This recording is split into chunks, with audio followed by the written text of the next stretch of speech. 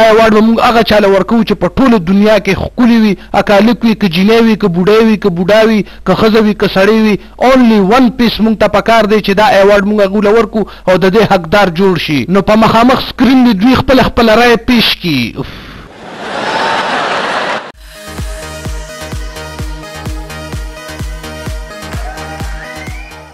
ایوارډ یو دی کسان پی ګڼ دی زه خو یم ټاس پی ولا. هو داسې ولې موږ به کچالان خرڅوو په لاره کې درته به چوکې نه ما.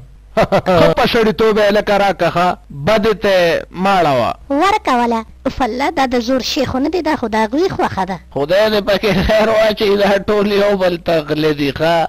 والله چې په سنتون برابرون. ولې شه چلېه چې تاسو له درکې مونږ څه ګناه کړې ده. زما نه دې پکار بو ويرېد يريږي خو نه خو زما په خيال بد نه خوښي نو مال يې راکې. بريتو ماما بريتو ماما. وي الله زه خو يم مال يې راکې چې نه سړی يم او نه ښځه يم. چيتې کا چيتې سره مال يې راکه هههههه.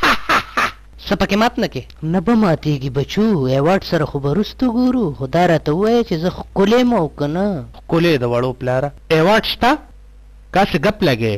څوک څه وایی څوک څه وایی د قربانی غوښه هم ته جوړه کړه خو به زر فیصله کی وری که چاله یی ماله راکی. کورم خوشی پریښوده دی. ناوخته کیږی. زه خو وایم مونږ له راکی. بس خدای پاک دی پریږدی چی څه تی جوړی. اوس دې سمه خبره وکړه د سړیتوب خبره دې وکړه.